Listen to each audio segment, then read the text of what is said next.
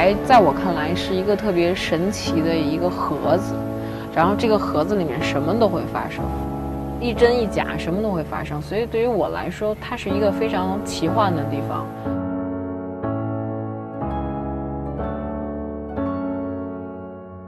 戏剧不再像以前封闭起来，通过更多的国际上的艺术节，我们能感受到世界戏剧发展到底是什么样子的。尤其它的发源地欧洲，它是如何如何发展的，和到了今天它该怎么样发展，这才是我来这个戏剧节最大的收获。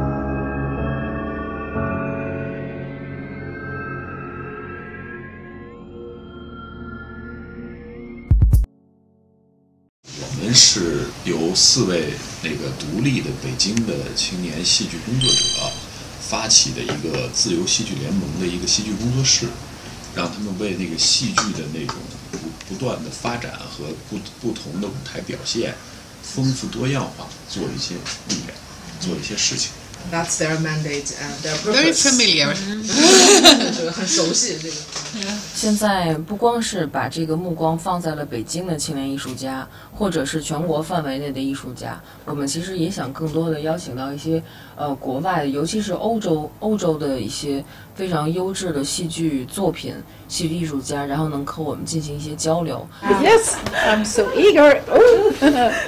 挪威这一块有易卜生戏剧节，但是我们国内的戏剧工作者对它嗯属于知之甚少的一个状态，所以这次非常感谢挪威使馆可以给我们这个支持，然后让我们能够来到挪威奥斯陆，对这个戏剧节做了一个大概九天的观摩的一个交流访问。在这期间呢，我们还在使馆工作人员的带领下拜访了很多挪威当地的一些文化机构。是青蓝 Theatre Manager in Beijing. You're all from Beijing? Yes. Yeah. I was in Beijing now in August. 我们国家现在正处在一个就是戏剧改革吧，可以这么说吧，就是新老戏剧的一种表达方式的一种一种一种变革。这是一个颠倒混乱的时代，倒霉的我们却要背负起重整乾坤的责任。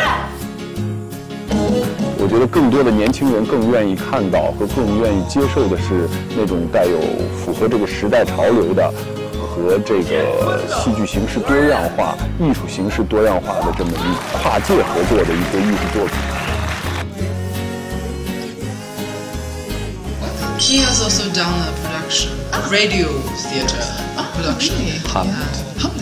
Hamlet. fiction and then they break out of the fiction and talk about the society and then they go into the fiction again.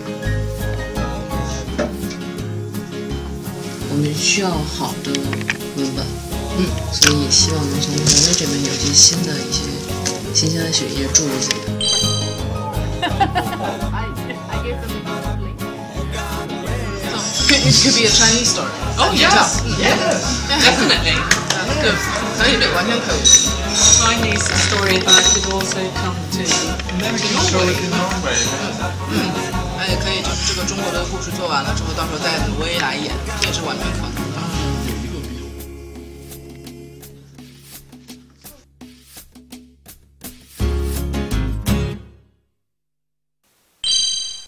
In the 1890s, Norway was still under rule uh, of Sweden. We did not become independent until 1905.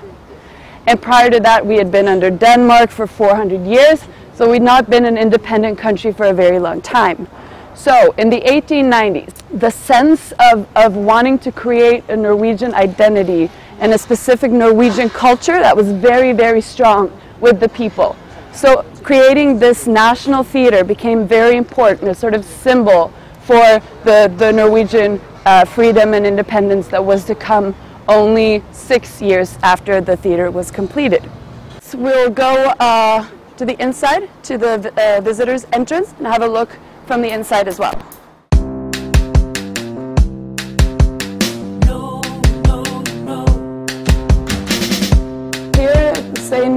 No, entrance. So past this point, uh, the audience is not normally permitted to go.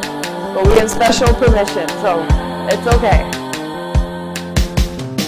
Not all the actors are on the stage at the same time, so they, you know, hang out here between their different seats. Everything here is in its uh, original stand. So when they were building the theater, they really emphasized using Norwegian uh, craftsmanship and, and workers. So everything is made here in Norway. Now there was a big fire here in 1980 and most of the curtain was destroyed, but they were able to save uh, a few bits and they placed them now in this room. It's quite recent that this has been opened up for, for the public audience to come and visit. And it's the King and Queen of Norway today that you see well represented there. They're very all about sharing their, you know, their property and their treasures and all these things with the public. So the palace is open during the summer for people to come and see. And the room here, they try to really open it up and make it accessible to the public, which I think is nice. 这个剧场应该有上百年的历史了。从一进剧场，它的装修、装饰，包括它的一些剧场文化配套的东西，让你能感觉到浓浓的戏剧文化的氛围在里面。 剧场本身就是文化的一个标志。Now, the room today, it fits 800 people. The systems that they have here now are actually really, really modern. The sounds and the light and the system they have for taking the stage and the props up and down is very, very modern. 而且它里面的布局，还有包括它一幕戏从前到后，然后呢几个场地的周转，还有包括它里面一些小剧场的配套，让我充分感觉到了一个啊、呃、既现代化又不失传统的剧场。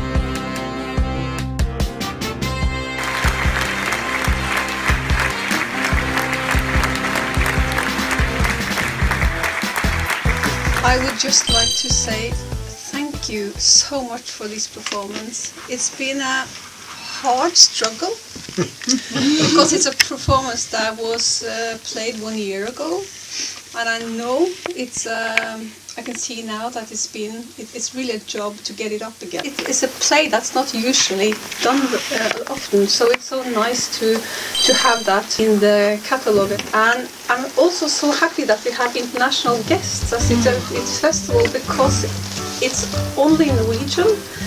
Uh, we have sent out uh, these. My name is Luni Sveen and I am the festival director. I've been a director since 2010, but the festival was founded in 1990 and it was going for every year until 1994.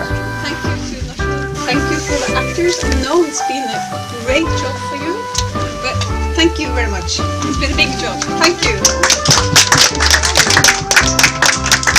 The goal for the festival for the National Theatre is to make uh, contacts with the world and also every year it's going about 150 up to 200 production about Ibsen every year. 一部上戏剧节，这个奥斯陆的这个戏剧节的，呃，很有意思，因为他们就嗯主办了很多很多年了，但是都是一部上的作品， 每年都会有的，但是每年呢有不一样的对他的作品的一些展示，而且探索，是一个可能全世界最国际化其中的一的一个戏剧节。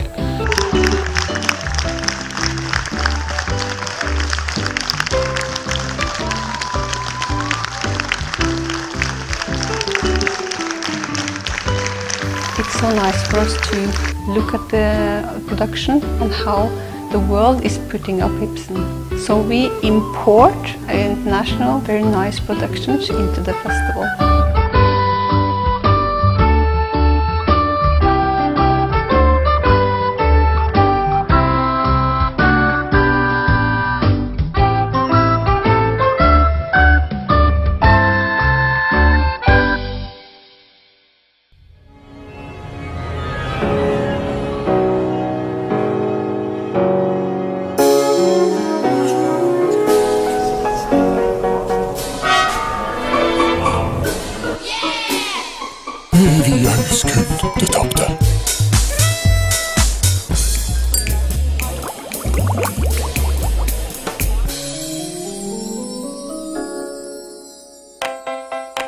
奥斯陆国家剧院是易卜生戏剧节的主办地之一。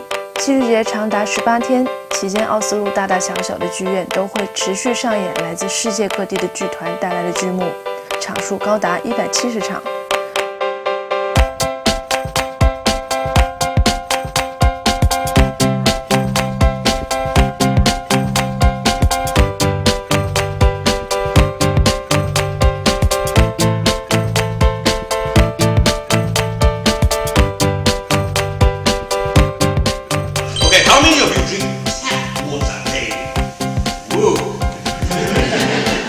Very brave people, huh? I'm a theater director from Berlin, Germany, and I was invited here to come to the Ibsen Festival in Oslo with my show Water Games. We were here for four days, we performed three times, and we really enjoyed it. We are making our living from selling filth and corruption.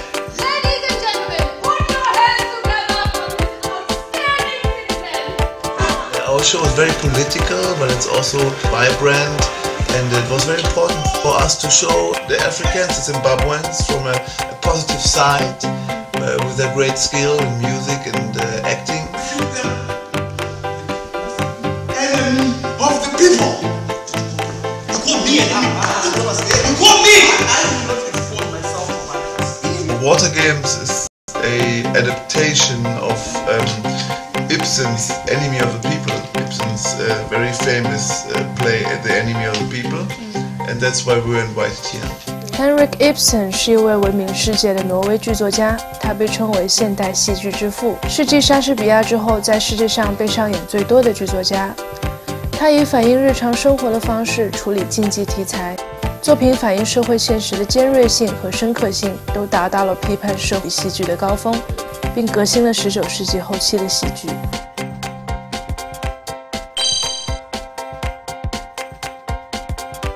It was built in 1899. He passed away uh, early 1900s. So he, you know, he didn't live uh, long after the theater was established because he actually left Norway pretty early on in his career. But he moved back home to Norway in 1890 primarily because his wife really wanted to move back home. And his wife was a very important person to Ibsen. Her name was Susanna.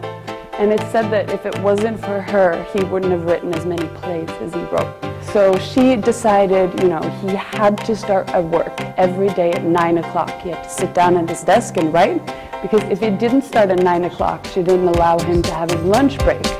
And his lunch break was very important because that's when he would sit in the city and observe people.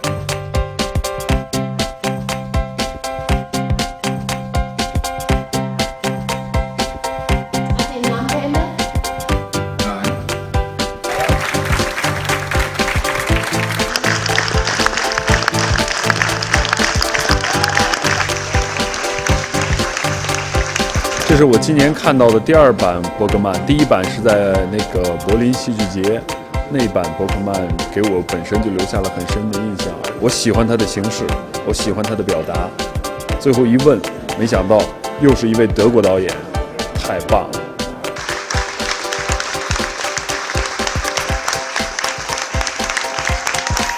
些从易卜生名著和优秀文本创新出来的故事重现在我们眼前，表演过程中的互动性打破了观众和演员之间的距离，生动地呈现了一幕幕精彩的欧洲社会故事。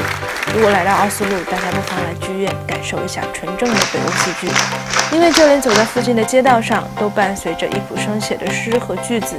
九月的奥斯陆真的是名副其实的易卜生之城。How is the theater milieu uh, in Beijing? How many uh, would come to see a dance performance or a theater performance at your venue? Sixty percent. Well, that's 嗯 pretty good.，但是儿童剧的上座率将近接近百分之九十。 Well, the theater for kids are very popular in China in the previous years. Okay. Do you know uh, why that might be? 为什么？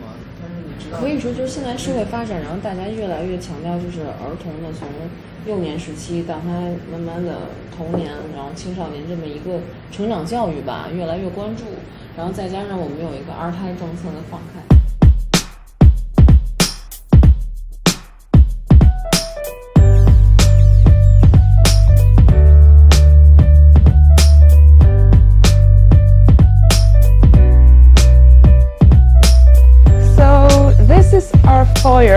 300 people in this space, and we can have maximum 200 people in that space.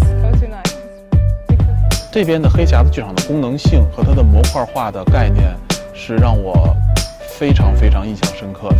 它全场顶上全部都是 truss 架，然后呢，它的灯光配置非常非常的灵活，呃，它的座椅呢全部是可移动的。这个在国内呢，很多样的黑匣子剧场是很难办到的。这边的剧场就很容易在二十四个小时之内，把一个传统的正面看台变成一个环形看台，呃，这点是让我很惊异的，因为这两天连着看的两部戏，就是可变的这个这个这个适应性是非常非常强的。What? This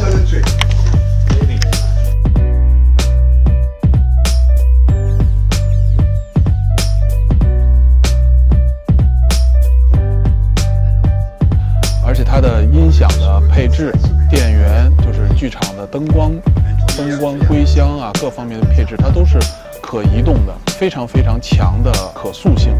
这种剧场其实在呃正常的黑匣子剧场之中，它应该是非常非常难得的。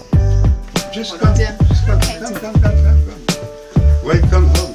Welcome home. Circus light, not the hospital, but the world. 而且国内的剧场其实，呃，在将来有条件再改造它的时候，其实我个人感觉，改造成这样的剧场，它会让黑匣子类的剧场的演出节目的呃内容会更丰富一些。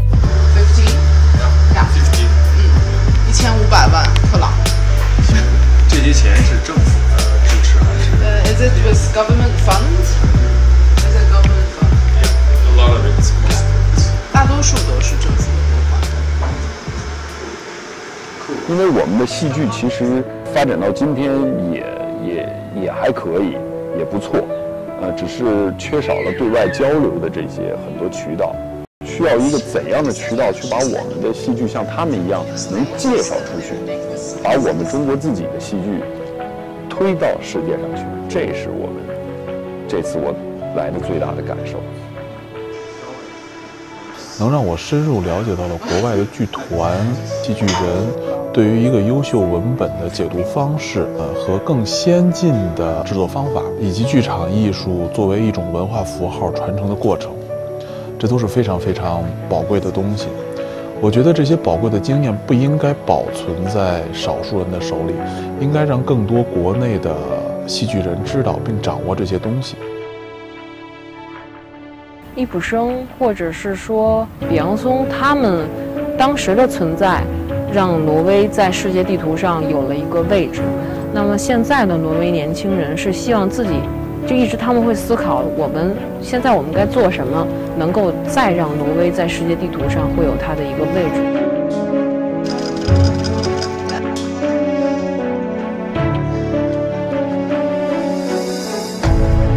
戏剧从刚开始文本然后慢慢慢慢最后排练出来，它是一个很神奇的过程，所以我我也说不清楚它到底对我有什么样的一个吸引力，但就是喜欢，而且会